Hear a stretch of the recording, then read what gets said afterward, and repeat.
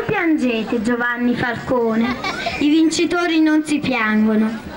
Lui scelse la lotta e la morte per vivere una luce che non si spegne in un mondo dove prevalgono le tenebre. Non piangete Giovanni Falcone, non nascoso il suo volto nel fango quotidiano, non lo fermarono né minacce né lusinghe, perché lui era già il vincitore. Non importava sapere l'ora della morte, era un passaggio obbligato, una consapevolezza titanica. I leoni non vanno a morire con la criniera abbassata. E mentre lo sdegno degli uomini montava come un uragano allo scatto del pulsante assassino, chissà in quale parte inimmaginabile dell'universo siderale, Dante e Omero celebravano l'apoteosi di Giovanni Falcone. Spargete fiori sul passo del vincitore. Coprite l'autostrada di ghirlande di lauro.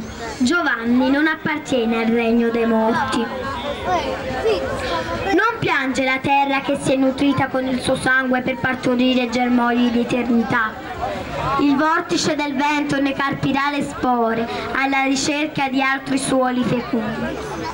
Non piangete Giovanni Falcone, voi sì, madri dei suoi assassini, voi sì, avete diritto alla disperazione, a strapparvi i capelli, a vestirvi di un nero eterno, a maledire il vostro latte avvelenato che li ha nutriti.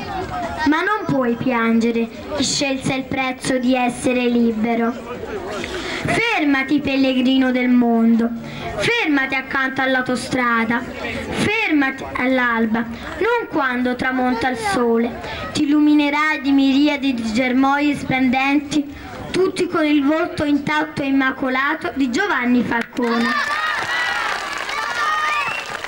le attività didattiche. Non è che non ci fossero, per carità, però una scuola più attiva è stata lei a promuovere. Quindi un applauso dobbiamo concedergli e glielo concediamo di vero cuore.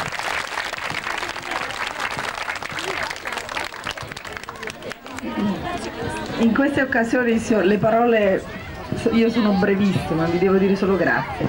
Principalmente voglio dire grazie di nuovo ai bambini, voglio dirvi che siete stati veramente bravissimi. Bravi, bravi. Eh, non vi dovete preoccupare degli errori, se qualcuno non è andato a tempo, se ha sbagliato, non importa.